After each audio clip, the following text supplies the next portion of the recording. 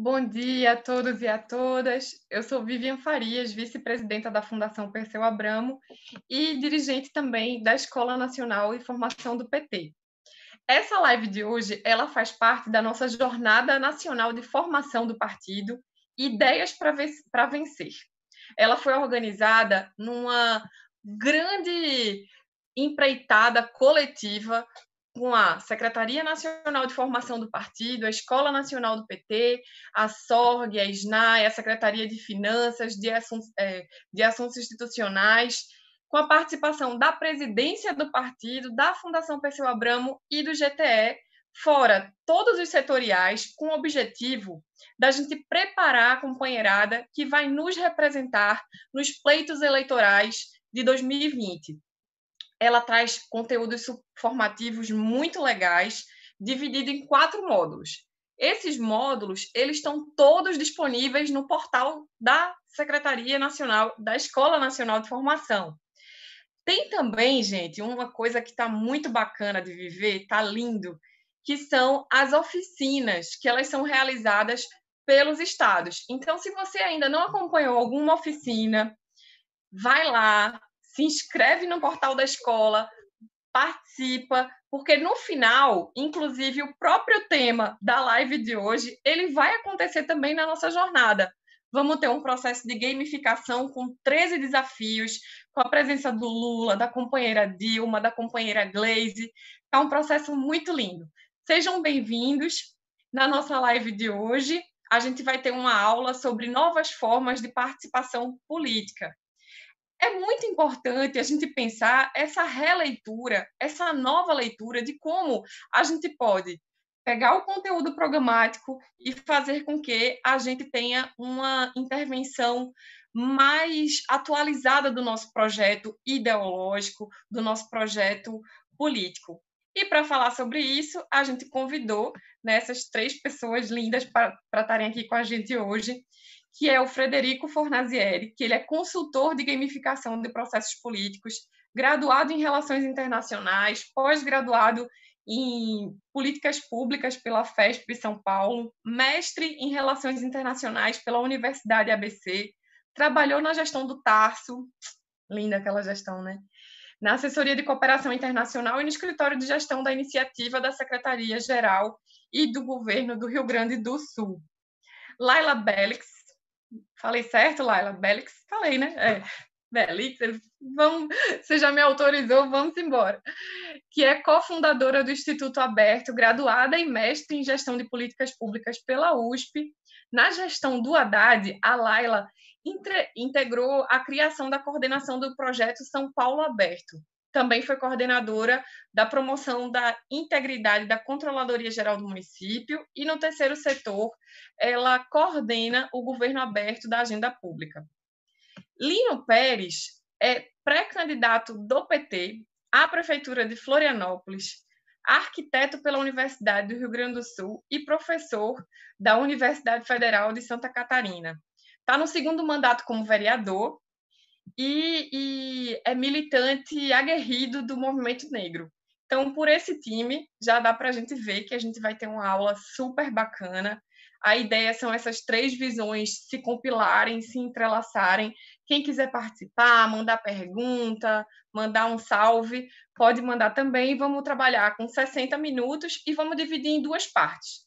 Na primeira parte, é, cada companheiro e companheira vai apresentar um debate mais conceitual, né, da articulação, é, da participação popular, é, de, de, dessa relação específica com, com um preceito mais conceitual. Na segunda parte, a gente quer mostrar como é que a gente pode trabalhar esses conceitos no nosso dia a dia, no, na elaboração do nosso programa de governo, na, no planejamento das nossas campanhas, nas pautas parlamentares que a gente pode atuar. Então, sem mais delongas, Frederico, tudo bem por aí? Tudo ótimo, Vivian. É Federico, sem R, não é Frederico. Ai, gente, é verdade. Querido, o que é gamificação na política e como é que você acha que esse processo de gamificação ela se articula com a participação popular em si? É, Primeiro, legal. seja bem-vindo também, Muito né, obrigado. gente? Obrigado, é prazer, prazer a todos e todos que estão acompanhando aqui a live. É, a gamificação é a aplicação de elementos e princípios de design de jogos em contextos externos aos jogos. É, ele também pode ser definido como um conjunto de atividades e processos para resolver problemas utilizando e aplicando as características e elementos de jogos. Então, a gamificação não é necessariamente eu trazer um jogo, mas é usar esses elementos de jogos em contextos fora de jogos. Como, por exemplo, eu posso usar jogos dentro de uma perspectiva de educação. É, quando eu trabalhava na fast food da política, a gente desenvolvia jogos para explicar a Constituição Federal é, para pessoas leigas utilizando um quebra-cabeça, por exemplo. E esse processo de utilização de jogos para estar tá explicando problemas complexos, é, na neurociência ele já tem um, pesquisas que demonstram que a função motora alinhada com o processo de educação permite com que as pessoas consigam gravar muito mais esses conteúdos é, na sua cabeça. Eu mesmo, é, eu tive que ler a Constituição umas três, quatro vezes e ainda não tinha entendido alguns processos, mas quando eu comecei a jogar e desenvolver os jogos, eu comecei a gravar muito mais os conteúdos constitucionais na minha cabeça por meio de jogo, dos jogos. Então ele tem diversas aplicações, como na saúde, é, hoje já utilizam jogos para tratar problemas como demência e outras patologias. É, no setor militar e de segurança, é, o Exército todo ano realiza jogos de guerra, que são simulações de cenários de guerra, é, no marketing, na gestão, no planejamento estratégico, em processos de inovação tecnológica e na política. Eu posso trazer alguns exemplos de como a gente utilizava jogos na política. É, quando eu trabalhava no governo Tarso, a gente tinha um gabinete digital lá e a gente desenvolveu um processo que chama o governo escuta. Então, ali a gente desenvolveu um processo de gamificação onde as pessoas poderiam levantar questões e perguntas é, relacionadas ao governo e perguntar para o governador é, num processo de votação. Então, as melhores perguntas tinham um sistema de votação gamificado que elas iam chegar para perguntar para o governador é, demandas sobre a sociedade, questões ligadas ao governo. Então, ali a gente acabou desenvolvendo um processo de participação social gamificado. É, outro processo interessante, um exemplo interessante que a gente utilizou é, de gamificação foi durante a campanha eleitoral, onde a gente desenvolveu um bloco de carnaval, porque a gente fazia os comícios, é, reunia bastante gente, mas sempre era aquela mesma coisa de ter falas e não sei o quê. E a gente decidiu inovar. Por que, que a gente não monta um bloco de carnaval de campanha? Em vez de fazer uma passeata é, com falas normais, é, falas políticas, a gente começou a desenvolver um concurso de marchinhas de carnaval político. Então, esse foi outro processo de gamificação interessante que a gente trouxe é, para a campanha eleitoral. Então, a gente desenvolveu um concurso de marchinhas, é, depois as marchinhas vencedoras eram cantadas é, no, no, na passeata, na carreata com, com, o candidato a governadora. Isso foi na época da campanha do Tarso para reeleição e para Dilma no segundo mandato. Então foi um processo muito interessante. Então a gente pode trazer esses elementos. É, agora eu vou falar um pouco dos elementos que constituem é, os jogos, que são a mecânica, a dinâmica e a estética. A mecânica descreve os componentes particulares dos jogos, os dispositivos que compõem suas regras principais e que delimitam a interação do jogo. A dinâmica já vai descrever o comportamento, o tempo de execução da mecânica atuando sobre os jogadores. E a estética vai descrever as respostas emocionais desejáveis provocadas nos jogadores quando eles interagem com o sistema. A gente pode pensar que a política pode ser um grande jogo, um tabuleiro. Por exemplo, o tabuleiro seria o espaço geográfico que está sendo delimitado isso. Se for na questão municipal, seria a cidade. É, as regras do jogo a gente pode considerar que podem ser, por exemplo, as leis a legislação eleitoral, como se organiza a sociedade, como ela está configurada. E os jogadores a gente pode considerar como os próprios elementos do sistema político, né? Então a gente pode também trazer elementos de jogos para pensar o planejamento dentro da política, não só da política de um cenário eleitoral, a gente entendendo as condicionantes que para eu ganhar esse jogo eu preciso ser eleito e para eu ser eleito eu preciso de votos e como que eu vou atingir esses objetivos dentro desse cenário, dentro desse tabuleiro. Então, como eu disse, a gamificação também pode ser um processo de planejamento estratégico para eu atingir certos objetivos, porque ali eu vou estar analisando as diferentes condicionantes é, que eu vou estar trabalhando para atingir esses objetivos dos jogos. E um dos principais, um dos principais elementos é, na construção de um jogo, de um processo de gamificação, é exatamente a gente estar tá colocando é, um objetivo nesse processo, né? Então, tanto para desenvolver um jogo quanto para uma campanha eleitoral política, a gente tem que colocar um objetivo. Então, pensando nesse sentido, é, trazendo esses elementos, então a gente tem que ter, por exemplo, uma intencionalidade. A intencionalidade é quando a gente está tentando criar algo não só bonito ou funcional, mas que busca cumprir um objetivo. Então, o jogo ele não precisa ser simplesmente a gente não pode focar só na estética dele, a gente tem que focar também nos objetivos nessa intencionalidade. Ele tem que ser sempre centrado na experiência humana, tudo deve se basear nas pessoas. A experiência do processo deve ser maior que qualquer elemento de jogo. É, buscar interatividade, estimular que as pessoas é, interajam entre si, seja ou competindo ou cooperando. Tem que ter um equilíbrio entre mecânica, dinâmica e estética é, que as regras e dinâmicas não podem ser é, demasiadamente formais ou restritivas a ponto de engessar esse processo. O processo tem que permitir é, também uma certa flexibilidade para as pessoas poderem exercer sua criatividade, né?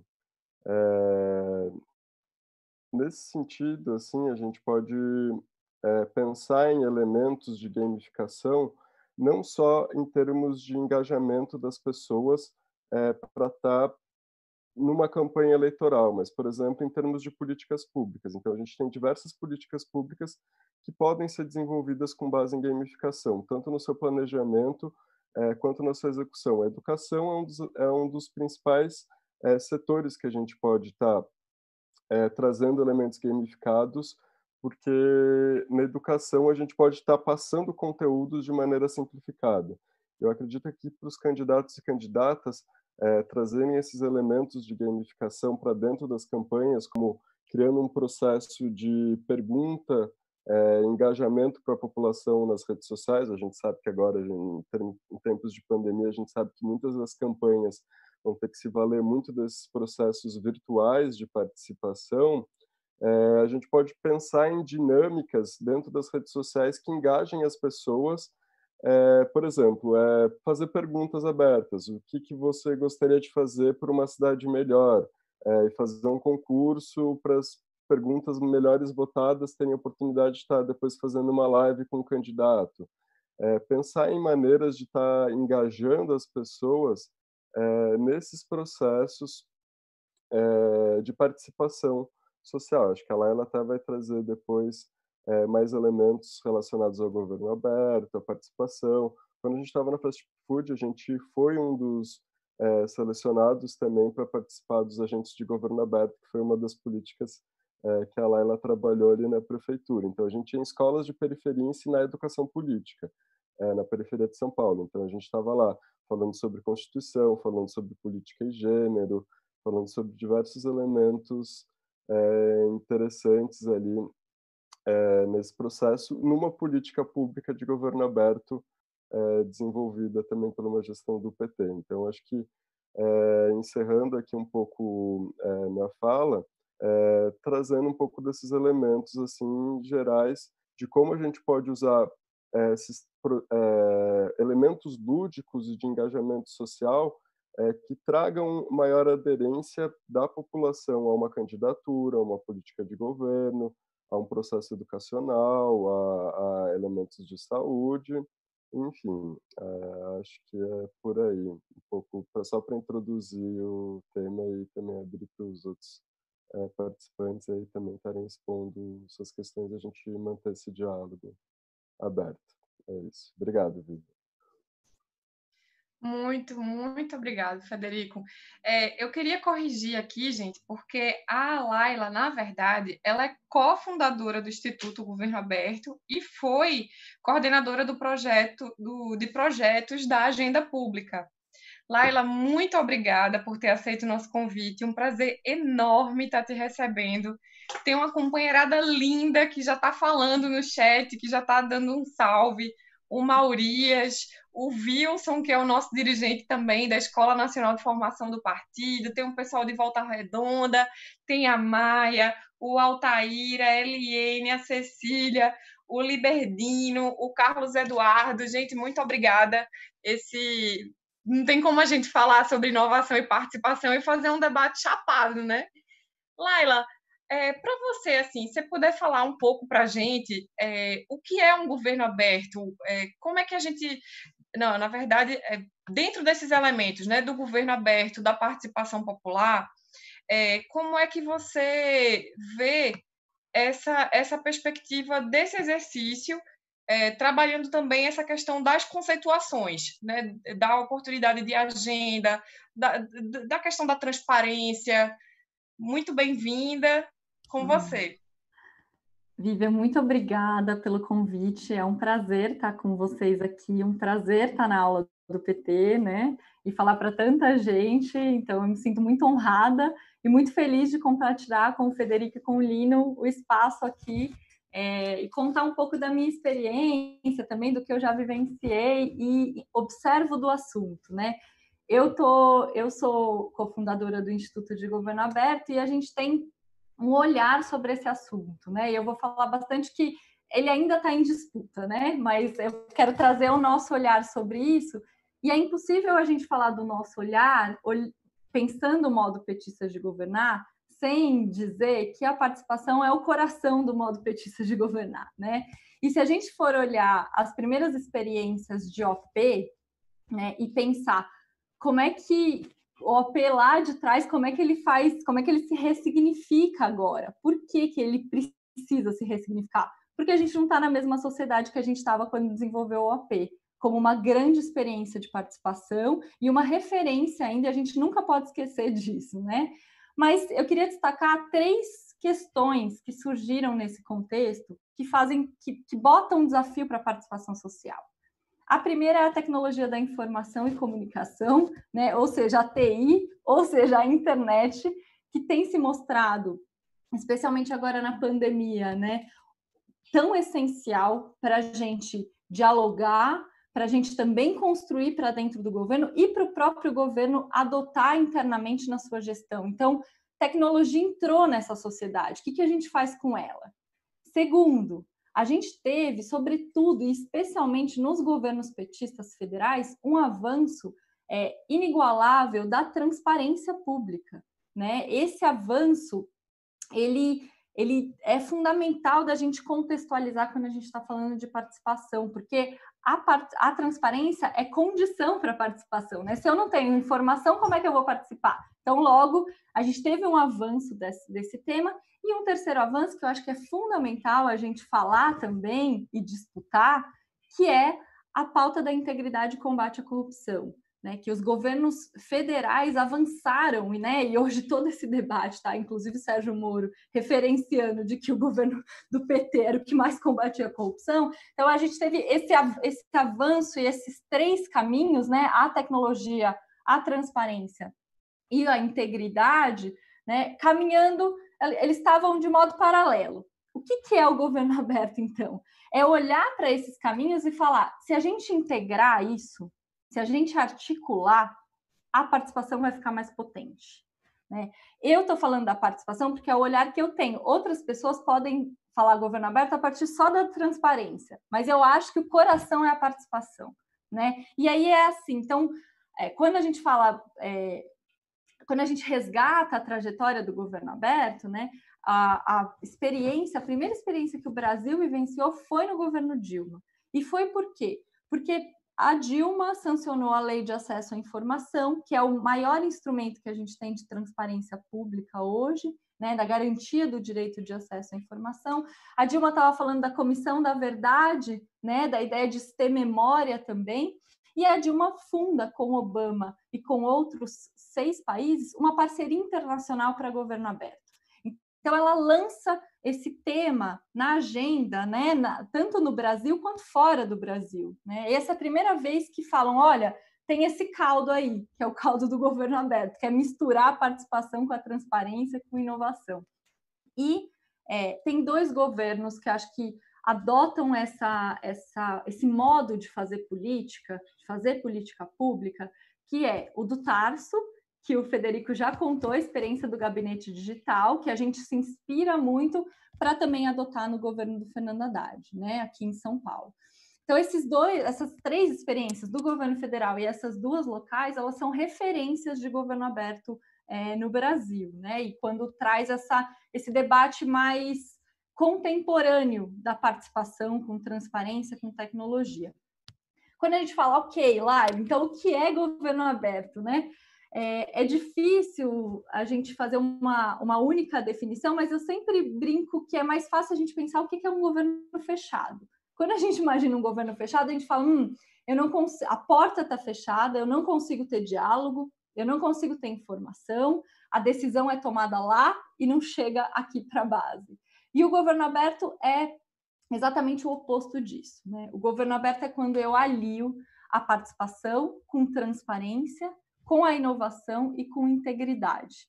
Né? E eu construo políticas públicas a partir desse olhar, que é um olhar mais democrático, mais é, inclusivo, mais justo de construir política pública. Né?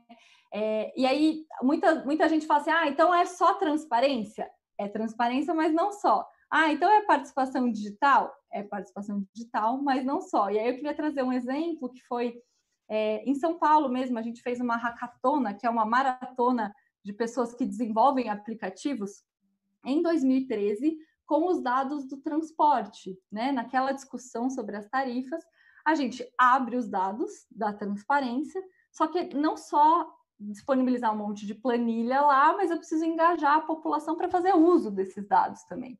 E aí, essa maratona, as pessoas desenvolviam aplicativos, um dos aplicativos desenvolvidos foi Cadê o ônibus, né? Que permite que hoje a pessoa consiga monitorar é, onde estão os ônibus, que abriram os dados do GPS também, e possa melhorar a sua vida, né? Melhorar a vida da cidade, melhorar as políticas públicas. Outros dois exemplos bem rápidos de olhar para governo aberto como esse misturado de, desses, dessas ideias que eu trouxe foi o próprio plano diretor aqui em São Paulo, né? Que a gente fez oficinas territoriais, fez uma discussão, mas também abriu plataformas para que as pessoas pudessem indicar é, e contribuir, né? E, e, e mesclou e complementou a participação presencial com ferramentas digitais. É, outro exemplo que eu queria destacar, de modo breve, foi o gabinete aberto, muito inspirado no gabinete digital, do Tarso, que era abrir para que os secretários pudessem prestar contas, falar o que está acontecendo, né? quais foram as suas ações, é, receber perguntas do público né? e explicar como é que está acontecendo a política pública. Bom, dito isso, né, e eu disse no início que esse é o meu olhar no assunto, eu queria pontuar que essa é uma agenda em disputa, porque ela é uma agenda, na, na essência, quando a gente está falando, de uma agenda liberal. A transparência ela surge nessa perspectiva, surge de vamos mostrar o que o Estado tem, e muitas vezes é para privatizar o Estado, mostrar que ele é ineficiente, mas é, na nossa visão e na forma como a gente trabalha, ela, além de estar em disputa, ela pode ser potencializadora. Se a gente entende governo aberto como direitos, né, o direito a participar, o direito a ter um acesso à informação, o direito a ter um governo íntegro, é, se você abre o governo né, com uma maturidade que você precisa para abrir o governo, você vai potencializar e vai fazer as políticas públicas ficarem mais fortes. Né? Eu gosto muito de falar, e eu sempre falo isso e vou frisar, em todos os lugares que eu passo eu falo, que o governo sempre teve aberto para determinados grupos de interesse. Né? O capital, para o capital, o governo sempre foi aberto.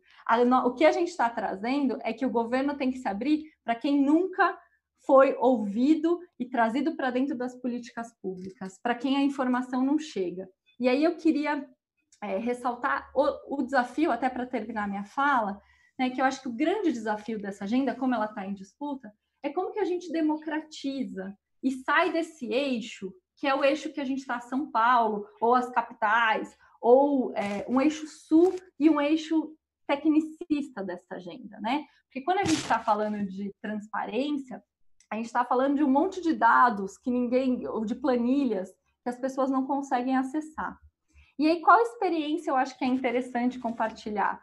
É a do que o, que o Federico falou, do programa Agentes de Governo Aberto, que a gente fez dentro da prefeitura, selecionamos pessoas com propostas de oficinas e demos bolsas para que elas pudessem falar de governo aberto, não nesse modo que eu estou falando agora, mas, por exemplo, como um jogo, como o Fast Food da Política fez.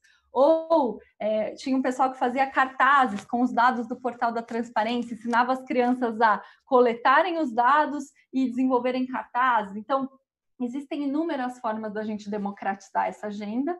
É, nós fizemos no Instituto de Governo Aberto um jogo do governo aberto também, com o fast food da política, na ideia de tentar democratizar e tentar fazer esse conteúdo tão duro ser mais acessível, porque ele está próximo da gente, né?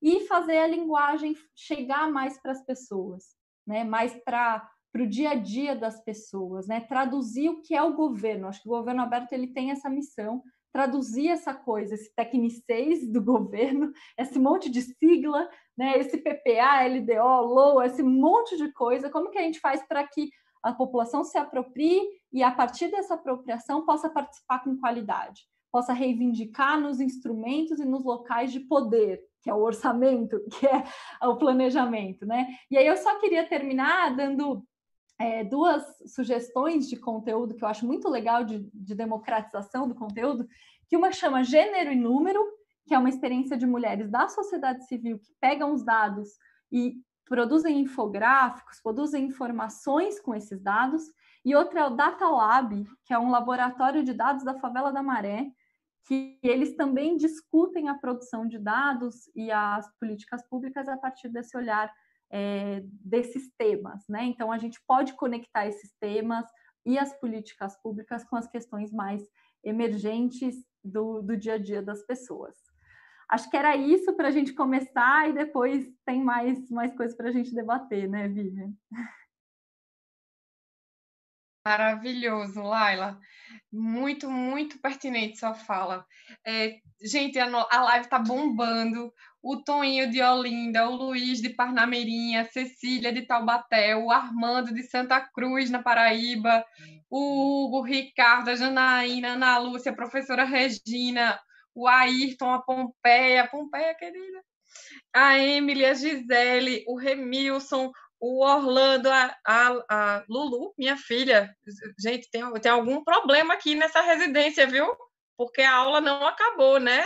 Filha, te amo, você é linda, mas tem, tá tendo alguma coisa equivocada aqui nessa residência. Fecha parênteses. É, a, o Laerte Edmar, o Joaquim Soriano, que é o nosso secretário nacional de Assuntos Institucionais do PT, que tem feito um excelente trabalho, também está aqui conosco. O companheiro Rubinho, que é secretário nacional, é, que cuida da pauta específica das pessoas com deficiência, que também está muito arraigado de como é que a gente vê essa leitura da pessoa com deficiência, visibiliza isso nas gestões. É, a Gorete, de Laranjal, em Minas, a Nara, já tem um monte de perguntas, eu estou só nas saudações, mas já tem na, na, próxima rodada eu já vou colocando um pouco dos elementos que vocês estão botando aí no chat para gente, porque acho que engrandece bastante é, nosso processo aqui. Lino, dentro disso tudo, como é que a gente leva esses elementos para o cotidiano, assim? Como é que um, um mandato que tenha esse compromisso ideológico do modo petista de governar, de legislar, ele pode estar tá azeitado dentro desses preceitos que o Federico falou, que a, que a Laila bem pontuou, eu queria que você falasse um pouquinho da sua experiência, eh, eh, do seu trabalho, de como funciona isso no dia a dia, assim, né? na questão do, do, do como fazer. Né? Muito bem-vindo, obrigada pelo convite. Com você.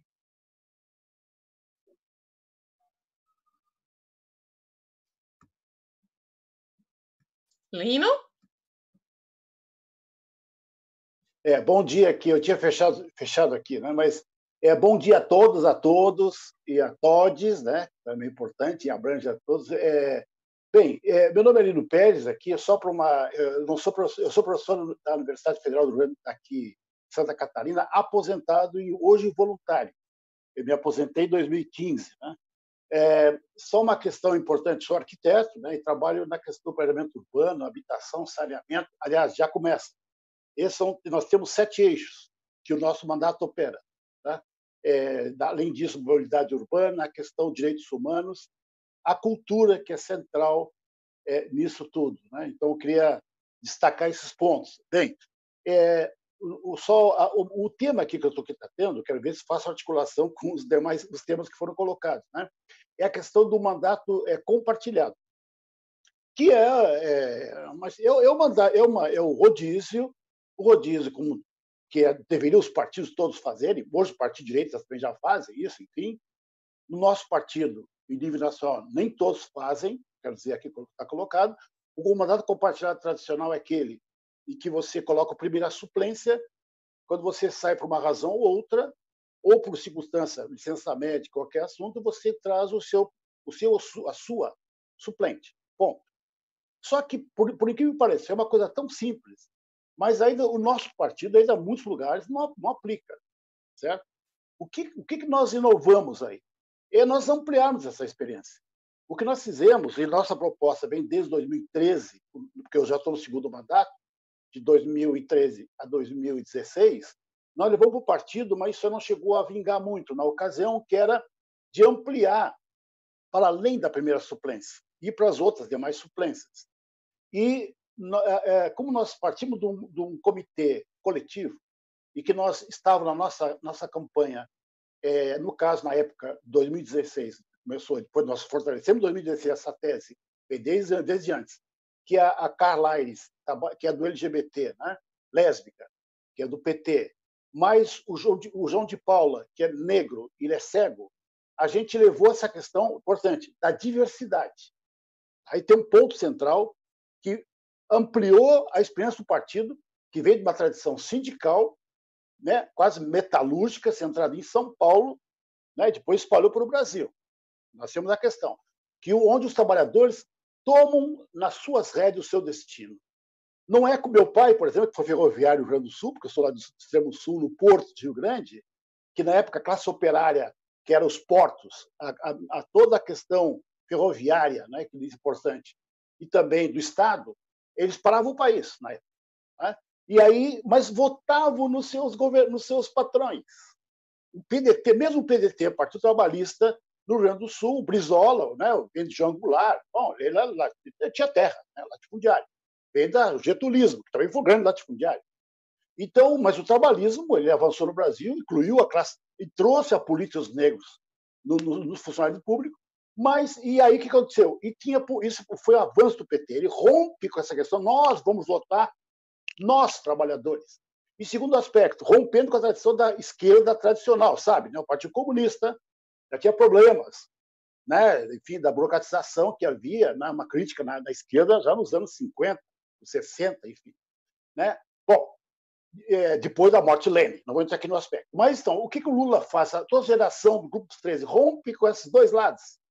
Nós vamos, vamos votar. Mas ele ficou numa tradição da, da carteira assinada, do trabalhador lutando pelo trabalho formal. Né? E de lá para cá avançou. Hoje o PT, com todos os ataques que sofreu, hoje é o partido mais preferido do Brasil. Todos os ataques que sofreu, foi criminalizado. É? Hoje nós estamos recuperando de novo. E ele chegou no governo, uma experiência inédita no Brasil de políticas públicas, a partir das conferências. Aí quer dizer, já começou de baixo para cima, através das conferências em várias áreas. A minha área, que foi a questão da reforma urbana, que o Olívio Dutra, nosso companheiro, esteve como ministro, infelizmente, teve que sair uma política de aliança, é, nós levamos a política da, o quê? da reforma urbana, direito à cidade. Ou seja, de baixo para cima, as pessoas vivem das reformas atrasadas que o golpe militar suspendeu nos anos 60. Então já inovou aí. Inovação quer dizer nesse sentido. Inovação de um partido que rompe, ele, ele, ou seja, a modernidade. Os trabalhadores que constroem a, o capitalismo moderno, do industrial, na metal mecânica, metalúrgico, etc., eles também o que quer? Eles vão negociar com os patrões no mesmo nível, Lula. E depois, mas que é? Eles vão para a política, não ficam só com força de trabalho. E terceiro importante, na política. Aí vem o modo petista de legislar e governar. Foi feito, forjado a partir de governos pós-constituinte de 88. Nós tivemos um governo de Porto Alegre, começou em Recife. Começou, não. Quem começou, sabe, foi o arquiteto aqui, que é o Dirceu Carneiro. Em 74, 76, ele se elegeu em 76, em pleno regime militar, aqui no Planalto, aqui no Planalto Central. Não é, não é industrial, não. No, no, no estado é, de, é, de, da pecuária, né? que ali passaram, passaram os bandeirantes para ir para o sul, né? os bandeirantes passaram para o sul quando foram para as missões, né? Que foi o, todo, né? que saiu do centro, do centro do Rio e vieram para o sul. Ali tem os Pampas, a parte de Lages, uma, uma parte do Planalto. Ali o nosso seu Carneiro estabeleceu o governo participativo. Depois foi adotado como tese, e o PT, nos anos 80, os governos de esquerda e o PT adotaram e espalhou a experiência democrática, que foram as várias experiências que nós tivemos, foi o nosso caudal do modo petista de governar. Então, assim, opa, nossa grande inovação está aí. A ponto nós criamos o Estatuto da Cidade, na reforma urbana, que hoje é referência mundial. Além do, do nosso SUS, Sistema Único de Saúde, também inovamos. Muito bem, então a inovação vamos por aí. Na democracia, na participação, como ele levantou aqui a live. A questão é a nossa alma, nosso centro. Bem, agora, de lá para cá, a sociedade mudou. Tecnologia, que a esquerda via com muito, até hoje, fez uma forma de desconfiar da tecnologia, porque o capital se renovou a partir da tecnologia, sabe, em Marx já está lá, a revolução das forças produtivas é a revolução da tecnologia, que aparece como se fosse uma coisa descolada. Isso faz parte da alienação do operário, descolado de si. É roubando do, do trabalho para levar para a máquina. Né? A exploração do trabalho vivo. Entendeu? Já é uma dissociação. E o capital usa isso, alienando o próprio trabalhador. Por isso que a esquerda é muito, fica muito de pé atrás com a, o TI. Aqui, é não sei se sabe, aqui é o centro do Brasil, um dos grandes centros do Brasil, da TI. Aqui nós temos o polo de informática, só que deu problema. É aqueles exportam todo, o software e o hardware para fora. Aqui não fica quase que nada. Entenderam? Aí tem o problema da cidade dividida. Tá? Tecnologia, tudo bem. Agora, aqui nós estamos acostumados a escutar há anos, tá? Turismo, que aqui é a grande questão turismo, a Ilha da Magia, Florianópolis, e tecnologia, que agora eu, eu ocupo o principal PIB. Então, eu só queria colocar isso, que essa aqui está do lado, mas nós da Universidade Federal, que tem um caudal gigantesco. E as oligarquias locais são atrasadas, isso aqui é uma sucupira no aspecto político, porque eles ficam muito atrasados. Né? Eles não absorvem essa tecnologia, mas usam na retórica a tecnologia. E nós somos inovadores. Para quem? Para quem que nós estamos falando? Aí que é o desafio do nosso governo. Essa tecnologia, primeiro, quebrar a preconceito que a esquerda tem, que foi uma tecnologia para alienar e expulsar o trabalhador, explorar o trabalhador. Nós temos que voltar, como dizia Trotsky, inclusive, a arte e a tecnologia é para libertar o homem do seu tempo de trabalho. Ah, agora sim. A tecnologia que nos, nós apropriamos, trabalhadores, para melhorar a nossa vida. Aí eu queria aqui parabenizar você da juventude atual. O PT já constata há muito tempo isso. A juventude e tal, mas tem que. Mas, tá, mas daí? A minha, a minha filha, a minha neta, trabalha com, direto com o celular, cara. Entendeu? Meu neto já está com o celular, você sabe disso. Quatro anos, tá? Meu neto. Quatro anos, já está com o celular. Aí daí? Ah, nós temos que desalinar. A tecnologia a serviço do homem. Então, opa, na, na eleição passada já estávamos discutindo nos apropriar nos polos tec, tecnológicos aqui. Vai. Então, e aí uma coisa importante que o PT tem que avaliar, além disso, a juventude, é a questão importante da diversidade. Tá certo? Gênero e raça o capitalismo se, se expressa racialmente. Tá? Ele expressa explorando o gênero, as mulheres. Tá? Então, quando vem o LGBT que fala, não, a sexualidade é mais ampla que homem e mulher. Opa, isso aí o PT está no modelo antigo, binário, homem e mulher. É, nosso partido. Então, uma revolução cultural, que é isso que nós colocamos, voltando aqui, nosso mandato coletivo 2016, nesses três, LGBT, a questão da pessoa com deficiência negro cego, Paulo, João de Paula. É? Aí nós colocamos o quê? Oh, vamos experimentar isso no, no, rodízio. Ué, vamos fazer isso no rodízio. Aí nós experimentamos. Sabe o que aconteceu? A Carla ficou em, em terceiro, em, em, quarto lugar. Nós ficou primeiro. O segundo é o, é o aliás, Sergipe, aqui, ó, lá do norte, do nor nordeste, que é o Nildão, foi nosso candidato a prefeito. Depois tem o Cadu, né? Bom, depois vem a Carla. Né? O Cadu é jovem, da, da juventude do PT. O que aconteceu? O Nilson teve que ir embora. Ficou o Cadu, todos os dois, segundo e terceiro. O que nós, que nós fizemos? Bom, vamos discutir coletivamente. quem sabe a gente fazer rodízio aqui juntos. Sabe o que aconteceu? Uh, tinha uma semana LGBT é, em junho. É, então, por, por, quem sabe a Carla entrar? Aí o Cadu, de uma forma fraterna, quer dizer que, em vez de dizer, não, eu sou o segundo, o segundo colocado, não, o Cadu cedeu para ouvir a Carla, para experimentar o mandato em rodízio.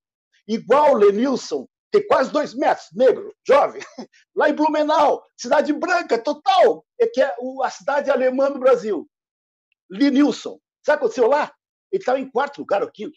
Eles colocaram o Lenilson é, para fazer uma experiência né? na frente dos outros. Isso eu acho bonito. O que aconteceu? Nós invertemos.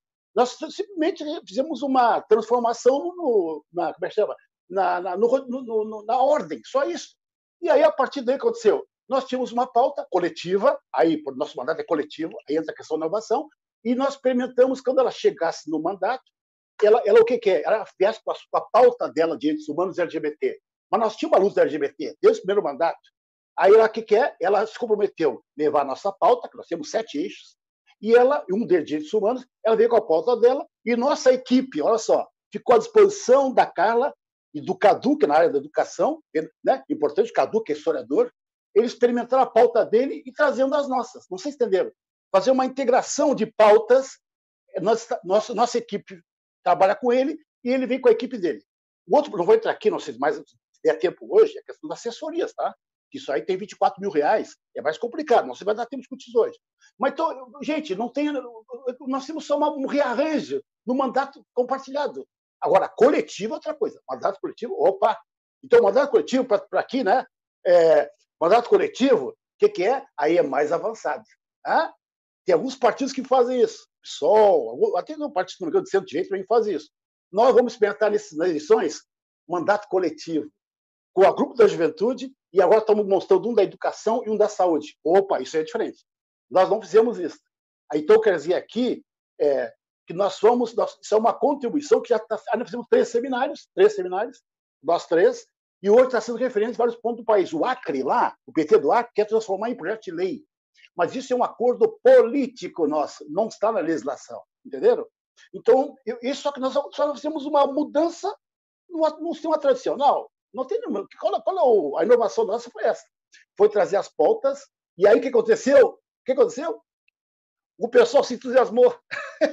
Estavam chamando para fazer debate. Que aconteceu? Estimulou a turma que está atrás. Opa, assim eu quero ser candidato. A política vira, eu dou uma oxigenação no partido, na política. O pessoal está nos chamando para fazer debate. E sabe o que eu quero colocar agora? Opa, não é só isso. Eu quero colocar quatro critérios, nós estamos debatendo. O critério, mesmo que fique na décimo lugar, se ele for negro ou negra, ele pode ser contemplado. Entenderam? Mesmo que não há um acordo. Segundo, mulher. Terceiro, juventude. Tá? E quarto, LGBT. Ah, quatro. Opa! Então já, já ficou mais complicado. Então, nós vamos combinar aqui compartilhado, que, é, que se baseia na candidatura individual, com um mandato coletivo. Então, essas são as inovações. Mas só com o princípio, no modo petista, do quê? De legislar. Tá? Legislar. Então, eu quero, eu quero nós somos partido, mas estou fazendo uma frente esquerda aqui, eu acho que é as poucas no país, hein? Que são nove partidos, quase dez partidos, nós vamos levar o processo também do modo da esquerda governar, a partir de uma, de uma, de uma contribuição do partido com o modo petista legislar e governar. Bom, então, gente, eu, eu não estou vindo aqui com uma forma mágica. Nós mesmo fizemos uma, uma revolvemos o sistema tradicional de, de, de. Só isso. Agora, o coletivo é novo. O coletivo é mais complicado. Tem que transformar em lei ou não, é um acordo político. Se o primeiro for votado, entra no coletivo. Então, por exemplo, qualquer coletivo, você se candidata, e junto comigo tem mais três, quatro que se candidatam também. Mas se eles perderem, eles ficam assessores meus, que eu ganhei. Tá certo? Eu faço em cadeia. Agora tem um problema aí. E aqueles que não são do PT? que não são filiados do PT, que é outro problema. Tem gente aí que vai ser votado, que não é filiado, que quer participar do processo. Pode ou não pode? Tá? Aí é uma discussão, aí, aí isso nós estamos debatendo. Então, eu recomendo, gente, eu fiz essa, essa experiência com mandato já em andamento. É um problema isso. Porque eu contratei meus nove, como é que eu faço para encaixar agora o Cadu, que veio com a sua equipe? Ou a Carla veio com a sua equipe? Sabe o que aconteceu? Ela vai ter que pegar do seu bolso e pagar os seus assessores. Tem, tem um problema aí. Nós temos que fazer Caraca. antes, para terminar, antes, antes, antes de começar, como é que vai ser as assessorias, e como vai pagá-las. Isso é outro problema. Mas é isso, gente. Essa é a nossa experiência. Não é grande novidade. Agora, a coletiva é mais um passo mais adiante. Nós estamos debatendo o partido, vai ter um fórum de rodízio agora para nós discutirmos no, aqui em Florianópolis aplicar para a região metropolitana. É isso. Só para te dizer que é inovador sim, viu? Que é? muito, muito bacana.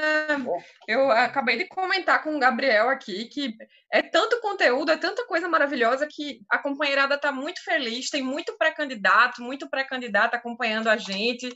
É, tem Geusimar, Alan, Damião, Rosana, Ida Alfonso de Campos Novos, Santa Catarina, Paulo Brito, Ana Lúcia Ruth, Altamir, me desculpe, eu falei errado o nome dele, gente. Meu Deus do céu, vou pedir voto você, viu? Me chama que eu vou pedir voto você com seu nome corretinho.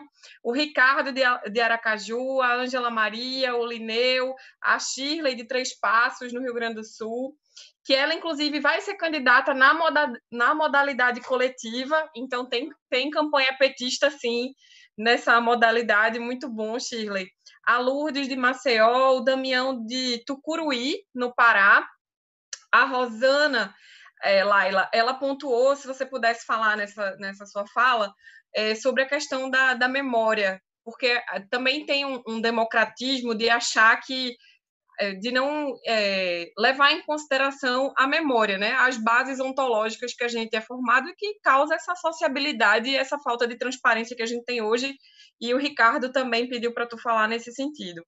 O Francisco, a Fátima de Patos, na Paraíba, adoro essa cidade. O José, é, José Maciel.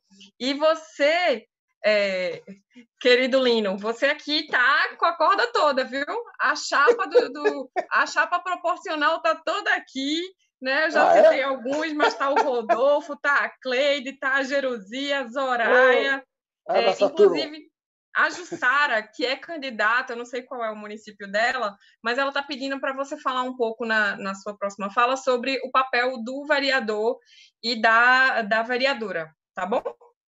Gente, na opinião de vocês, assim, eu queria ouvir um pouco sobre é, como é que o, o candidato do PT pode apresentar já no seu programa e penso que até assim, já no fazer campanha, porque eu acho que a partir do momento que a gente se predispõe a construir algo novo, de, de construir algo mais democrático, de algo é, realmente é, transparente, isso tem que se iniciar já na campanha, né? Então, na proposta do mandato, é, eu queria que vocês falassem um pouquinho dessa relação com as novas formas de, de participação popular. Pode ser, Federico? Podemos começar com você? Podemos.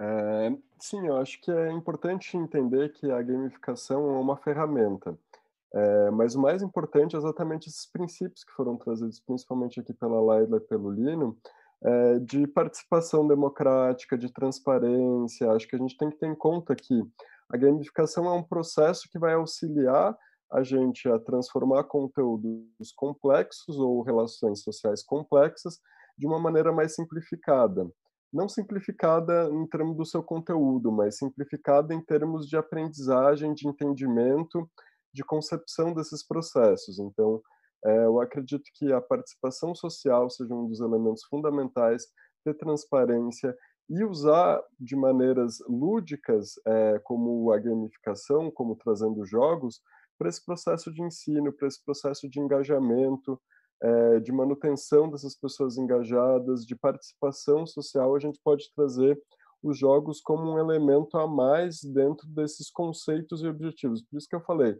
que o principal elemento dentro de um processo de gamificação é os objetivos. O que, que você objetiva trazer dentro disso? Então, acho que esses outros conceitos trazidos aqui são exatamente os objetivos que a gente tem que almejar é, dentro desses processos participativos. E a gamificação vem exatamente para está auxiliando as pessoas, simplificando esses processos e trazendo de uma maneira lúdica, divertida, engajada, é, todos esses conceitos e elementos que são muito importantes. Super obrigada, Fed. É, pessoal, é, Laila, se você puder pegar um pouquinho o que o Ricardo, o que a companheira Rosana falou, dessa relação com a memória, com a tecnologia, e responder também como é que você vê isso já na campanha. Claro, claro. É, é, muito bom falar de memória quando a gente está falando de transparência, porque a nossa lei de acesso à informação ela surge como um instrumento também de garantia da memória, né? De que a gente não pode queimar documentos, né? Que eles, eles têm que ser, eles são públicos, né? E acho que o governo atual, federal, o que ele está fazendo com a subnotificação ou com a mudança de dados é acabar com a memória né, quando ele está sendo pouco transparente com os dados, ele acaba com a nossa memória do processo. Então, eu acho que tem completa conexão quando a gente está falando de governo aberto, a gente falar de memória política, né, de a transparência para contar e para observar a nossa realidade. Nós acreditamos na ciência, nós acreditamos nos dados, então a gente olha isso e, e a, nós acreditamos na escuta das pessoas para construir política pública, né? Então a gente olha isso como forma de, de construir as nossas ações, né? Eu, Vivian, eu elenquei cinco dicas assim que eu acho que são legais para candidatos e tanto legislativo quanto executivo, né, majoritário também, que eu acho que a primeira, e aí falando da memória, falando de transparência, é todo candidato tem que conhecer tem que usar e tem que aplicar as ferramentas de transparência. E aí, que ferramentas eu falo? É conhecer a lei de acesso à informação, né? Pode olhar lá no Instagram do Instituto de Governo Aberto, tem várias outras organizações que falam da lei de acesso, que é, é saber fazer pedido de informação para os governos, saber que tem prazo de resposta, saber que tem recurso, né, que você pode recorrer a uma resposta do governo. Isso para fiscalizar no, no legislativo é fundamental. E para quem está na, nas prefeituras, é importantíssimo que garanta uma política de transparência, sim, né? Porque é garantir direito. Então, acho que a gente precisa olhar para a lei de acesso, a gente precisa olhar para os portais de transparência para fiscalização. Lá tem uma mina de informação. A gente precisa levantar os orçamentos, os contratos que estão lá, é, todas as, as informações, elas estão ali. A gente precisa saber fazer uso. E tem várias organizações da sociedade civil, inclusive nós do Instituto estamos apoiando uma organização a desenhar índices de transparência. E aí é, é importante vocês olharem na cidade de vocês como é que está a transparência. E esses índices, eu não gosto de índice particularmente, mas esses índices eles são importantes para você saber o que, que não tem na cidade. E aí, se você vai ser o vereador ou a vereadora, você vai propor uma, uma legislação e a fiscalização desses instrumentos, se você é o executivo, você vai né, implementar para melhorar a transparência. Então, primeiro ponto é ferramenta de transparência. Segundo ponto é órgão de controle interno, aliados né, que aliem fiscalização e gestão. A gente tem que dar esse passo do controle né, para todo, todo mundo que já teve experiência dentro do poder público sabe que o controle é sufocante né, em vários aspectos, mas se a gente olha uma perspectiva que junta com a gestão, que o controle me apoia na decisão, né? É um controle que está comigo para eu poder tomar as melhores decisões sem me responsabilizar. E a gente sabe como é que está partidarizado os órgãos de controle externo. Então, estruturar órgãos de controle interno, como as controladorias, é fundamental, né? E é uma estrutura moderna de controle, eu estou falando aqui. O terceiro é instâncias e processos de participação. Acho que é legal mesclar Acho que é legal combinar formatos, é, usar ferramenta digital dentro do próprio processo. Eu, eu, gosto muito de uma experiência de Quito, né, que eles têm um, eles chamam conselho aberto, que eles pensam governo aberto para dentro da própria estrutura do conselho metropolitano deles. Então, como que o conselho também pode ser mais transparente? Como que o conselho pode ter rotatividades que o Lino está trazendo, né, da, do mandato? Por que, que a gente não aplica nas instâncias de participação também? né, e pensa formas, né, e, e Equador está tá adotando isso, então acho que é legal é, revisar os fluxos, né, a, o, como que funciona o poder público a partir do cidadão. Então tem várias experiências legais, é, inclusive uma do aplicativo do SUS, que o pessoal foi olhar como que as pessoas usam, né, o aplicativo para poder desenhar uma, uma solução, então botar né, o cidadão no centro, como falam bastante. E aí, para eu não estender muito, as duas últimas, que são as principais, que se eu pudesse deixar o recado, eu deixaria nessas duas, é apostar na construção da cidadania, formação em democratização e conhecimento. É, não, não dá para você abrir o governo se a gente não fortalecer a cidadania, porque pode ser um risco da gente é, é, do, a abertura do governo se voltar contra nós mesmos, né? Então é fundamental que joguem, né, Lino? É esse. Eu, eu ia é falar isso. Eu já ia falar isso. É importante que a gente caminhe junto, porque senão a gente só dá transparência, só jogar um monte de informação no site não vai mudar. Vai ser pior para a gente, inclusive, né? Então, é, eu acho que nessa, nessa aposta da construção da cidadania é o que o Lino falou, é a gente produzir a nossa própria tecnologia. E aqui tem um super debate que eu não vou entrar, mas é o software livre, é o código aberto, que é permitir que a gente produza a nossa própria tecnologia e use ela.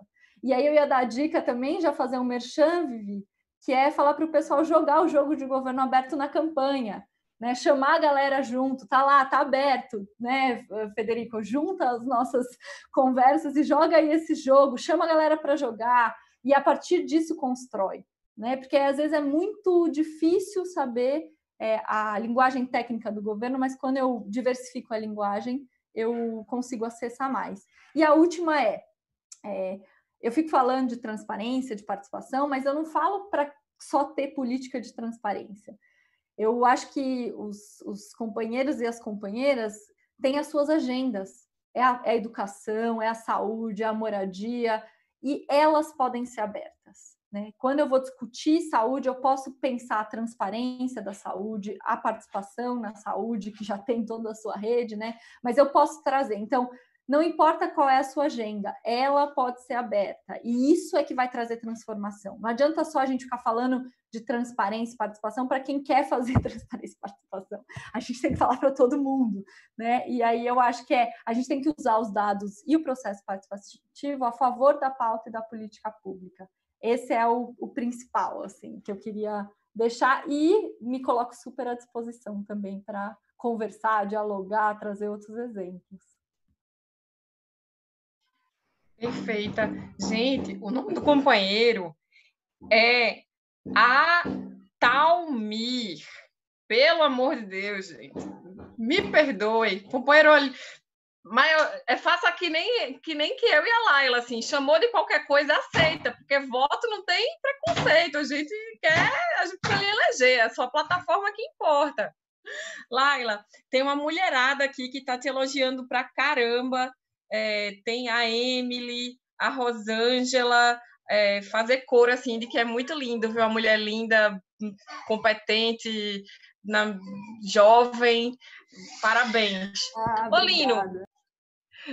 Lino, eu, eu, inclusive, por mim, a gente já marcava outra dessa, assim, porque tem tanta coisa, são tantos elementos, e a gente nunca passa, para para pensar, né, Lino, assim, de, então. desse exercício já na campanha, de como preparar. Você falou um pouquinho, mas eu queria que você aprofundasse mais, principalmente que a gente tem muito candidato e candidata a vereadora nos acompanhando aqui, tem candidatos a prefeitos também que estão com a gente, que estão mandando salve no chat gerou até um, um a companheirada de, de, de, Floripa, tá todo mundo falando, ó, oh, eu tô aqui também, viu? Tá, então tem a Margarete, tem a Rosângela, tá, tá a companheirada toda aqui do, de Floripa estando com você e, e muito linda essa experiência de vocês. Acho que a gente tem queria já sugerir para você para a gente escrever algo a respeito, porque acho que a gente precisa massificar pela Escola Nacional de Formação do Partido, essa, essa iniciativa muito bacana. Eu conheço a, a Carla, a Carla é, é, minha companheira de geração, então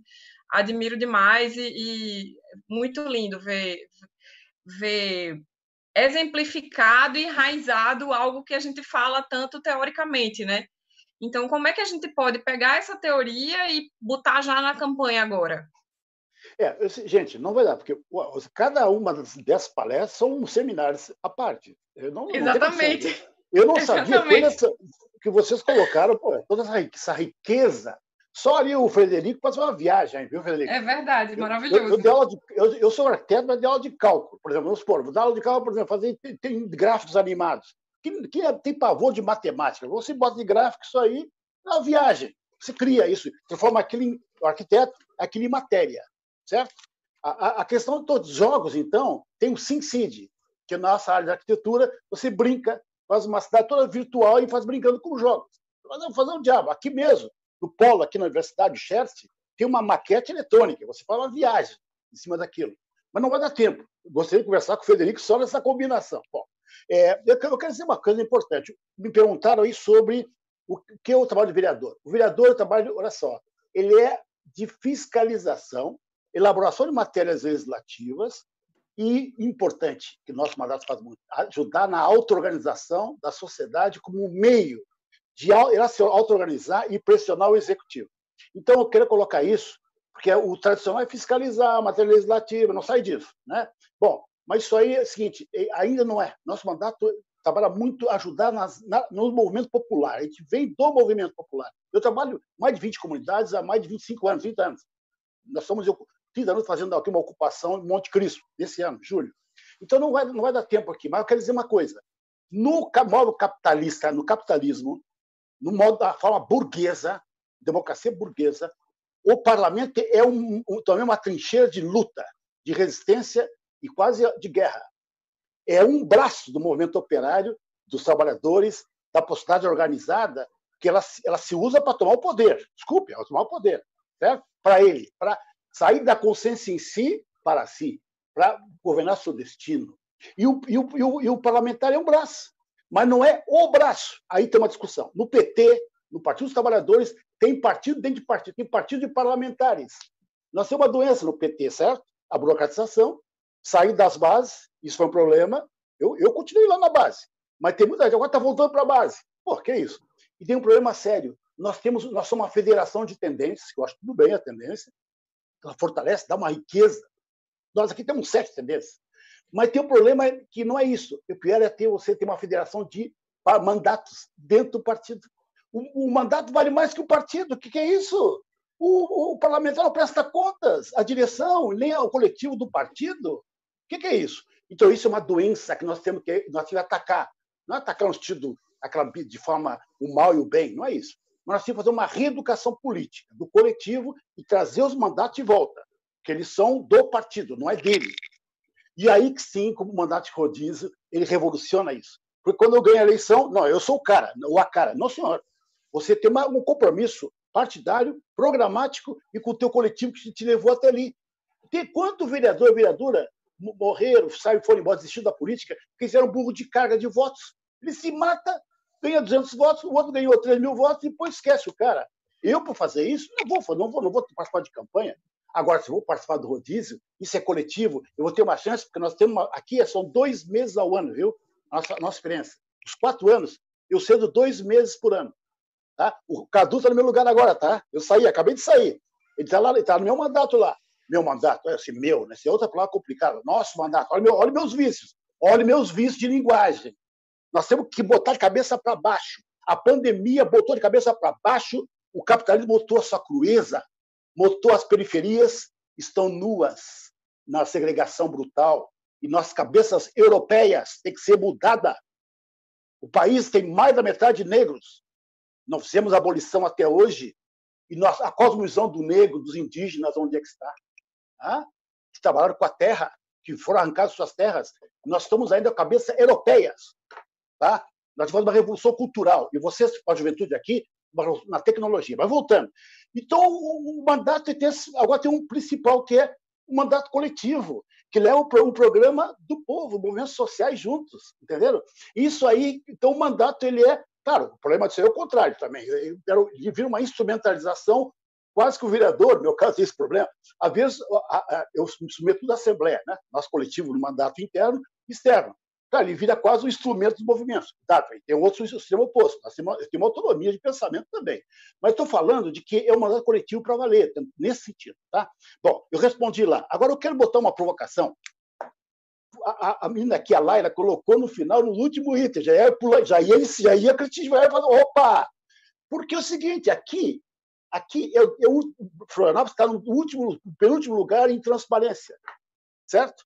Agora nós ficamos pensando no debate, a presidente do partido aqui nosso disse assim, cara, cuidado esse negócio de transparência, porque o Lula, nós avançamos na transparência do Brasil, criamos a lei anticorrupção e esses instrumentos voltaram contra nós, levaram impeachment, nos botaram fora do poder, os mesmos instrumentos que nós lutamos foram condenar o Lula. O Lula, na Polícia Federal, levou, aumentou os salários, levou a transparência da Polícia Federal, etc. Depois a Polícia Federal votou contra ele. Aí tem o quinto item da Laila, que é fundamental, que ainda chama atenção, é a questão da participação em. A palavra empoderamento eu acho meio complicada, mas assim, empoderamento, não tem outra palavra, que é fundamental a, a participação popular e controle social, porque senão a transparência em si, ela vira contra nós. A, a presidente do partido disse, pô, tem, tem um problema aí, Celina. Vencer transparência, eu botar visibilidade. Eu não sei. Ela ficou preocupada com esse papo aí de transparência. Então, e outro problema do governo Lula teve, sabe qual é outro? Comunicação. Defendemos a transparência, mas o controle da comunicação ficou na mão da Globo. Hã? E aí? E aí? Como é que é? Pô, nós temos que democratizar a comunicação, as mídias independentes, cooperativas, quebrar os monopólios da comunicação, porque senão a transparência não funciona só. Entenderam? Mesmo que seja o poder popular com a transparêça, mas se tiver acordo de comunicação no controle monopólio, como é que fica? Ah, não, não vai dar? Então eu faço parte da frente parlamentar da democratização da comunicação, sabiam? Estou lutando aqui para mudar, quebrar esse monopólio aqui no Florianópolis, na proporção, né? aqui 500 mil habitantes, 1 bil, 2 bilhões e 300 mil é o orçamento, nosso orçamento, 500 mil pessoas. Aqui, 11 milhões por ano, o prefeito entrega, paga para o pessoal fazer propaganda dele mesmo. Entendeu? E a mídia independente fica lá, ó, não, não, tem acesso a coisa nenhuma. O povo fica alienado. As mentes. Você sabe, a Globo, o que, que fez nesse país? A Televisa no México, eu estive lá. Né? Na América Latina, o que é a Televisa? É um monopólio gigantesco que é aliena o povo. Nós temos que quebrar esse monopólio. Não liberdade, liberdade de comunicação. Esse é o papo deles. A liberdade de expressão. Não, não é isso. Liberdade de expressão, mas quebrar o monopólio econômico. Isso foi o problema do Lula nosso governo lá. Foi a não a reformar a comunicação, a reforma tributária, bancária, etc. Não vou entrar aqui nesse detalhe todo. Então, acho que é importante levar a comunicação, gostei do item 5 da Laila. Tá? E eu acho que é importante, nós experimentamos, ah, nós temos aqui ó, a formação política, me esqueci mais um aqui do, do, do parlamentar. Sabe que nós temos no nosso mandato? Biblioteca Milton Santos. Sabe que é Milton Santos? Para quem não sabe, o, o radialista local aqui, o famoso aqui, o Cacau Menezes, Ô, oh, Milton Santos, aquele jogador de futebol lá, o cara é famoso aqui na Globo. Milton Santos é o maior, o maior geógrafo brasileiro e dos maiores do mundo negro. É maravilhoso. Ah, Milton Santos, biblioteca Ainda Milton não Santos. leu? Não, exatamente. O que nós fizemos aqui? Nós temos aqui uma experiência aqui, ó, de fazer trans... esse aí que fala o Federico. Tá, é muito bonito. Mas é o seguinte, tem um problema.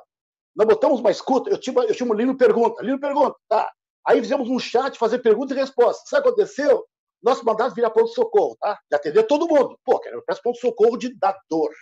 O povo sofre. Nosso mandato acolhe esse sofrimento dos negros, população de rua, a questão séria nas periferias, as mulheres são a violência das mulheres, certo? A questão das ocupações, nós estamos na, na, lutando pelas ocupações aqui. Infelizmente, a solução, porque tem uma omissão. Aqui construiu três casas em três anos. Nós estamos usando para a política habitacional nas periferias inclusive saneamento, não tem. O que aconteceu com isso? Aí nós queríamos abrir, sabe que? Um chat. Assim como o Federico está dizendo. E a Laila. Ah, é? Então tá. Agora eu pergunto, tu abre isso aí, tem um problema, se não estiver controlando. A, a, a, pressão vem enorme. Tu, tu, não dá conta. Tem que saber como dialogar, porque é muito bonito. Olha, quer ver na hora da prática aí, tu, tu, tu responder todo aquele monte de bombardeio de perguntas, e tu responder isso, eu sozinho nisso, com meu, o com meu assessor, meu, são nove assessores, a maioria está doente porque isso tem um enorme coração. Eles vêm do movimento popular, eles têm que atender. A, a, não dá, não dá tempo de discutir a política. Agora nós conseguimos virar nosso mandato. Agora discute a política. A, construir, ah, mais um, sexto item do vereador aqui, ó. Construir as, ajudar a construir as políticas para que o povo pressione o, o, o, Estado e não fazer obras como se fosse mais um prefeito. Aqui chama vereador intendente. É, ele é uma extensão do governo do, do prefeito. Não, construir política. Mas ah, isso é muito bonito estou falando aqui, tá? Na prática, eu quero ver. O cara está passando fome ali, a população de rua. Diz para ele aqui, ó. Fala do comitê. Nós fizemos comitê, hein? O pessoal agora, a população de rua, está se levantando, tem uma associação nacional, estadual e local de população de rua. Sabiam disso? Eles se organizam e vão para cima do prefeito. Muito bem. Só que até lá ele passa fome. Entenderam? Não vou dizer aqui, mas aconteceu um caso no meu gabinete, na biblioteca do Milton Santos, que deu lá com população de rua. Não vou dizer o que aconteceu, tá? A polícia, uma confusão. Mas eu perdoei ele. Mas ele, ele é um grande líder, líder comunitário, líder da população de rua. Mas ele, ele passa fome. E como é que tu faz isso? Ah, resolve isso. É, é, fácil. Então, só quero terminar aqui que nós, enquanto isso, aí eu quero colocar coronavírus, tem uma grande questão para nós, a importância do Estado e a, a colaboração, não, não aquela cristã, a colaboração, não, a humanitária e política. A solidariedade política. Na dor você constrói os laços de emancipação do povo. Entenderam? Então, agora é muito fácil fazer isso aí. Eu quero ver fazer jogos aqui. É verdade. E a demanda vem para cima de ti. Eu quero ver tu responder. Porque tu começa a gerar expectativa. Como é que tu trabalha com expectativa quando o pessoal está no sofrimento? É por isso que as igrejas, o evangelismo pentecostal entraram nas periferias, porque tem uma solidão da dor. A região católica não deu mais conta com, as, com, com, com os pastorais, abandonou com o conservadorismo da igreja. Eu quero ver estudar. Eu trabalho nas periferias. Oh, um uma, uma, uma coisa super simples que é dar conta da companheirada que está no chat. Porque, ó, Bom, tem. tem é, obrigada para o pessoal que está é, parabenizando a mediação, aí. a Rosângela, a Lígia, o Carlos, o Paulo. Gente, vocês têm noção que a gente está falando para o Brasil inteiro. Tipo, do interior do Pará de Patos até a pontinha lá do Rio Grande do Sul. Então, o quão a gente essa pandemia, como você bem colocou, né, Lino, assim, para mudar a nossa prática, uhum. mas como a gente lida também com, com a expectativa que a gente cria. A gente não pode ser irresponsável, né? Então, ah. tem muito elemento para a gente pensar. Se a gente for pegar até estratificar os dados do orçamento participativo, por exemplo, tem alguns problemas da supra-representação. Então, uma pessoa que está em 20 conselhos, né? Eu vivi muito o OP aqui em Olinda e, e a gente via isso muito, assim, da pessoa ter essa supra participação em vários espaços. Então, ao mesmo tempo, ela está tirando a participação de outra pessoa. Então, é, é, essa coisa do não cumprimento, da própria LOA, da LDO, como é que entra na execução direta do orçamento. Então, é, é, como você bem falou, são temas para vários debates. Infelizmente, pessoal, a gente tem horário, mas essa aula tá, vai ficar gravada aqui no nosso portal. Convido todo mundo a assistir. Queria, Fred, que você desse eu estou dando a intimidade já, né, Federico? É, que você desse um salve, convida a companheirada para ver a plataforma de vocês, porque eu, Gabriel, o Wilson, a Rosário, o Gilberto Carvalho, a gente é super fã, né, com a iniciativa da Laila também, muito bacana o que vocês fizeram, e eu acho que a gente tem que caminhar, assim, para novas formas, formas mais leves, essa coisa que o Lino traz da, da solidariedade, da, da, prática política enquanto ação mobilizadora é muito importante. E a Laila, linda, perfeita, maravilhosa, que, que traz esse amparato da necessidade da gente galgar na memória, de galgar na transparência. E até anotei, viu, Laila, as dicas, mas depois, se você quiser mandar por escrito a casa, agradece, porque a gente vai para as referências bibliográficas da amiga, com certeza. Federico, por favor. Primeiramente, queria agradecer aqui a Vivian, a todo o coletivo do Partido dos Trabalhadores aqui que convidou a gente para estar tá participando dessa live. Saudar também todos os militantes e militantes é, do PT é, ao redor do Brasil aqui e agradecer também a Laila, a Olina pelo debate aqui que foi muito produtivo. Também aprendi bastante uhum. é, sobre novas concepções aqui de tanto de participação, de governo aberto, transparência, de mandatos coletivos. Então foi muito enriquecedor também estar tá, tá debatendo aqui, compartilhando esses canais e ideias com vocês. É, eu não estou mais trabalhando na fast food já há, alguns anos, mas eu também recomendo muito que as pessoas é, vão, conheçam o projeto, que é um projeto muito legal, muito interessante, muito importante ele é todo em formato aberto, é, código aberto, então todas as pessoas podem pegar os jogos, copiar, reproduzir, eles estão todos disponíveis online. E, mais uma vez, obrigado a todas e todos aqui por estar participando desse momento. Super obrigada, viu, Federico? Foi muito enriquecedor sua participação. É, espero contar mais com você, viu? Lhe aperrear mais. Laila, querida, pode dar o seu salve final? Ah, Vivian, queria agradecer muito, dar um salve para Emily para Rosângela aqui, eu estou no chat também e vi mensa as mensagens delas. É, dizer que é um prazer com, colaborar e me coloco super à disposição para colaborar com, com as companheiras e os companheiros que queiram construir. Eu já mandei os cinco pontos ali, então vocês já têm, pode compartilhar, não tem, é tudo aberto. E eu queria agradecer muito o Federico e o Lino e você, Vivian, pela mediação, porque eu acho que a gente tem olhares muito complementares e que caminham para o mesmo sentido. Né? É muito difícil falar da pauta da transparência, do combate à corrupção, né, uhum. nesse momento. Só que a, a, trajetória dos governos do PT, eles têm acúmulos né, irreparáveis é, nesse tema, e a gente não pode se furtar a disputar o tema. Né? Eu adorei as provocações do Lino, e eu acho que a gente tem que dar a nossa cara, né, uma cara progressista para essa agenda, ela está em disputa né? E a gente precisa dizer qual é a nossa narrativa. Então eu fico super é, à vontade, aberta para construir uma narrativa junto também e junta com todo mundo que queira apostar nesse caminho. A gente não pode deixar de falar disso, porque isso vai se voltar contra a gente. Então a gente tem que reforçar qual é a nossa visão. É, e é um prazer imenso estar aqui, então fico super à disposição do que precisarem e muito feliz de ter vivido essa uma hora e pouquinho com vocês.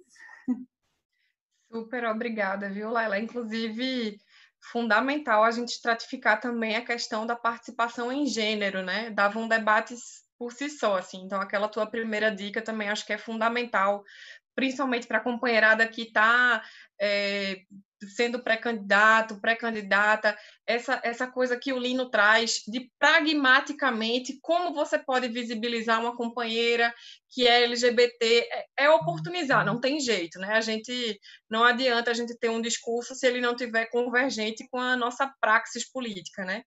E aí, Lino, por favor, seu salve final. A sua chapa inteira tá aqui no chat, tá bom? O Rodolfo, a, a, a Rosângela, Floripa inteira, toda toda a companheirada vermelha, bolchevique de Floripa tá aqui no chat.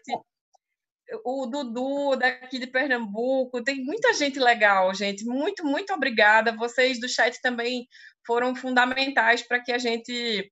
Ó, oh, Lino, ele tá, ele, o Wilson tá perguntando, ele tá querendo doar uns livros, quer saber como é que, que faz.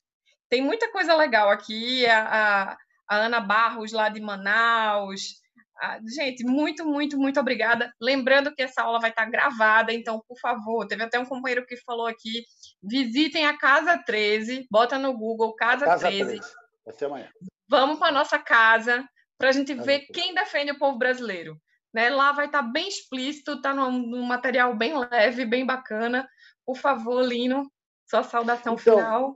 Então, eu quero dizer o seguinte, eu acho que é fundamental, tem uma questão de fundo aí que o Federico coloca, sabe o que é, Federico? É o seguinte, nós temos um raciocínio muito é, cartesiano, cartesiano. Descartes é diferente. O cartesianismo é outra coisa. Nós raciocinamos de uma forma muito, muito linear. A esquerda estava uma forma linear, escalonada hierárquica. Uhum. O que aconteceu com os jogos? Eu, na arquitetura, eu sei disso. Que o, o engenheiro, vamos dizer, nada com o engenheiro. Engenheiro é uma coisa fantástica, engenhar. Mas a engenharia, ele, ele trabalha do, do, do particular para o geral. Arquiteto vai geral particular. E, e, aí tem uma linha com a questão pedagógica do construtivismo, que você trabalha também construindo, não sei se entenderam. Então, a questão dos jogos que está levantando o Federico é uma questão filosófica de fundo. Na arquitetura eu sei disso. Não adianta explicar de uma forma linear, assim, depois constrói assim, projetar. Não dá. Não é acumulativo. Você mostra.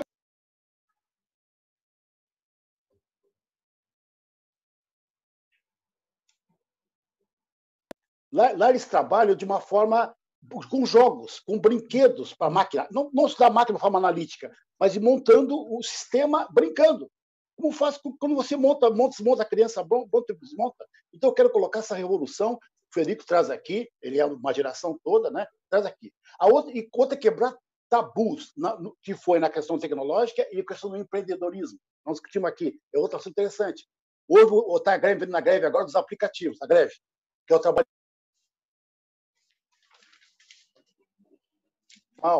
que é o trabalho é, da precari... precariato. Como é que a gente faz? Tá? Bom, então eu queria colocar isso. Agora eu quero colocar aqui à disposição esse debate nosso que faz uma oxigenação, de respirar em todas as direções. Isso aí é juventude, é criação. Não é juventude assim, ó, você é jovem. Não. Isso é respirar as ideias de todas as formas e ângulos, através do olhar feminino, através do olhar do, do LGBT, através do olhar do negro, do indígena, da periferia, que você coloca as coisas de cabeça para baixo, mistura tudo. Então, eu não sabia que tinha essa temática, viu? É, é até bom fazer essas, temáticas tão aparentemente diversas. Né? Mas eu, acho, eu fico à disposição para fazer novos debates, para repensar esse partido, para que o coletivo não seja uma abstração, mas seja uma coisa concreta, de fato, mas junto. Eu, destaque que eu digo, é um projeto com e para a cidade. Olha só, você não constrói para, você constrói com a cidade. Então, é isso que eu queria colocar aqui, e o, o vereador é uma parte disso. A formação política é importante. Por isso que tem a biblioteca Milton Santos. Não conseguimos, viu? Nós que fazer vários cursos, é muito bonito, mas na prática não é fácil. Você está pagando incêndio, está a formação política na biblioteca lá, mas só vai lá e lê os livros lá e tudo. Mas tá, tem que ter um curso de formação. Não é curso aquele curso tradicional lá, da pessoa Abramo só, mas curso na luta. Sabe fazer uma live agora? Com a liderança das ocupações, só as mulheres live, elas estavam com medo de, de, de atira, vamos lá, vamos falar. Sabe o que aconteceu? As mulheres o pessoal todo hum. chorarem. Sabe o que aconteceu com as mulheres das periferias? Que a polícia vai lá e mata? Porque eles querem que baixe dos morros as armas e suba a saúde. Sabe, eu, tenho, eu cubro meu filho para que não mate meu filho. Mate-me primeiro. Por quê? Porque estão nas alamedas, na, na, na, nas ocupações, a polícia vem matando e batendo todo mundo. Sabe o que aconteceu? Elas falaram e deram uma aula sem fazer curso nenhum. Então, você aprende na prática, é praxis. Então, isso que eu queria colocar aqui, importante. Não adianta grandes teorias, nós temos que exercitar e brincar, como vocês estão fazendo, com jogos, e vamos experimentar isso, o rodízio, a combinação. O Edenilson, dois metros, negro. Botar ele no quarto, quinto lugar para experimentar. Num, num, lugar que é só branco, que tem 5% de negro. o Edenilson, entenderam? Então você, opa, opa, o PT deu grande passo pedagógico de colocar um negro Perfeito. numa cidade de Blumenau, de alemã. Tá? Isso, isso que nós temos que fazer é o papel pedagógico. E sabe o que chama? Revolução agora. Não é aquela revolução, tipo cristão. Um dia no paraíso, você todos felizes, o proletariado vai se libertar. Ah, ah, agora começa. Aqui é a nossa utopia, como diz Ernest Bloch, a utopia concreta, aqui agora, ao vivo. Né? Como diz Lefebvre, aqui agora. Né? É isso. Deixa a mensagem para vocês todos. Muito, muito, muito obrigada, Lino. Excelente sua contribuição. O Luiz Carlos de Minas, o Elton, o Rubinho e o Wilson que participaram essa live inteira, o José Orlando, o Ricardo Luiz, o Cadu, a Zoraia, o Antônio, o Rodolfo muito legal. A, a Nara, que é de Parambi, no Rio Grande do Sul. Então, companheirada, muito obrigada pela presença de vocês. Quero agradecer aos nossos três palestrantes, vocês foram brilhantes.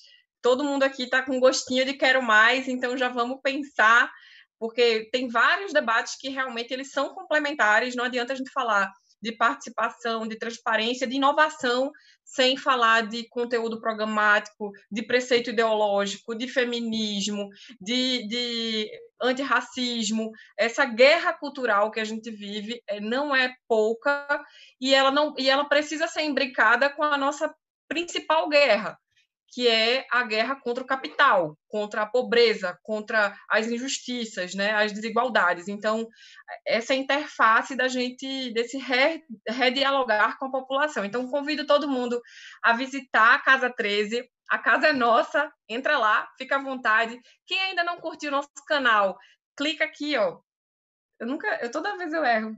Clica aí, gente. Clica aí para curtir nosso canal, para acompanhar, para receber notificação, compartilha. Um forte abraço, firme na luta. Um cheiro grande direto aqui do Nordeste para vocês.